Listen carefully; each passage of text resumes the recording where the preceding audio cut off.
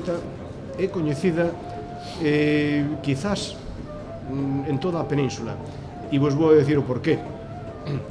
Eh, un que, bueno, por motivos de profesión e por motivos políticos ten que viaxar moito é raro non encontrar a alguén que diga ah, pois mira, cando estudiaba en Santiago fui a tomar las truchas a Sigüeiro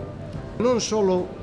non solo me pasa isto eh, pois cando viaxo por España tanto en lugares como Sevilla, como Valencia, sobre todo Madrid, Barcelona, sino que tamén por Latinoamérica. Por Latinoamérica, pois moitas persoas que visitaron Galicia, outros que, que son originarios mm, eh, galegos, outros que estudiaron aquí en Santiago, é moi raro que non foran a probar as troitas así